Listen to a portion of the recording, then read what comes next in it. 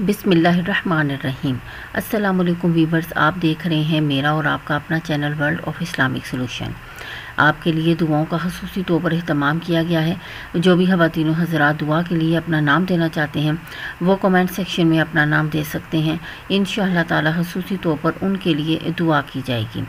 आज मैं जो अमल आपके साथ शेयर करना चाहती हूँ, ये हकीम साहब ने सफ़र के दौरान एक साहब को बताया।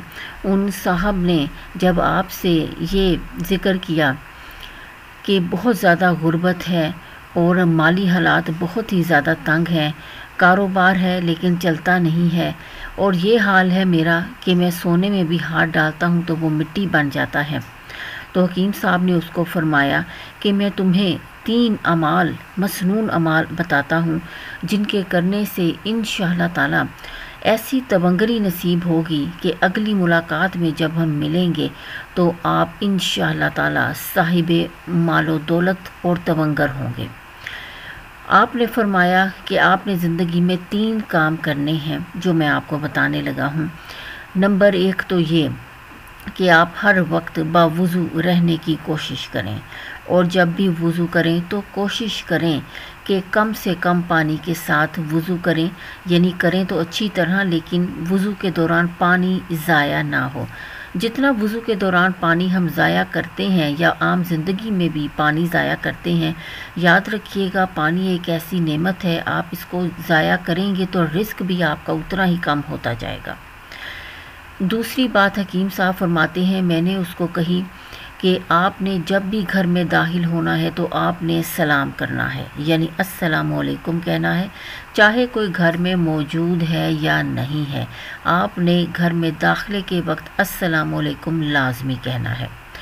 तीसरी बात हकीम साहब फरमाते हैं, जो मैंने उन साहब को बताई वो ये थी कि आपने हर वक्त तीसरे कलमे का विरद करते रहना है, पूरा तीसरा कलमा पढ़ते रहना है, वज़ू बे वज़ू चलते फिरते। और अगर आप हर बावज़ू रहते हैं, जैसा कि मैंने आपको ये अमल दिया है तो आप कोशिश करें कि आप बावज़ू रहें और बावज़ू हालत में ही तीसरा कलमा पूरा पढ़ते रहें।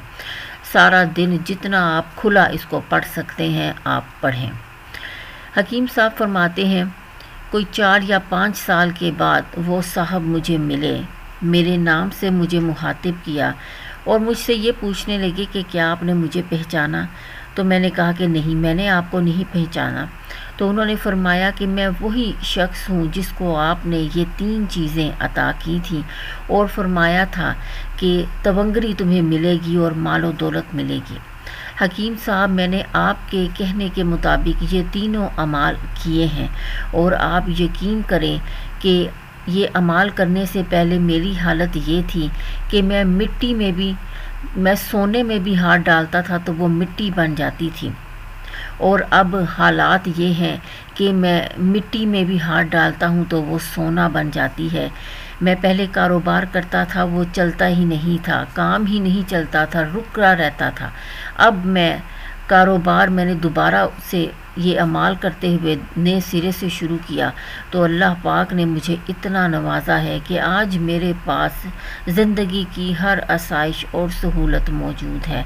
अल्लाह पाक ने आपके कहने के मुताबिक जो आपने फरमाया था कि अल्लाह पाक तुम्हें बहुत ज़्यादा इस, इन तीन अमाल से तवंगरी अदा फरमाएँगे और बिल्कुल हकीम साहब ऐसे ही हुआ है। सुबहान अल्लाह वीवर्स मुझे उम्मीद है कि आपको मेरी आज की वीडियो पसंद आई होगी। ज़रूर लाइक और शेयर कीजिएगा। और अगर आप हमारे चैनल पर नहीं हैं तो चैनल को सब्सक्राइब कर दें और साथ ही बेल आइकॉन के बटन को ज़रूर प्रेस किया करें ताकि मेरी हर नई आने वाली वीडियो से आप मुस्तफ़ हो सकें। शुक्रिया, अल्लाह हाफिज़।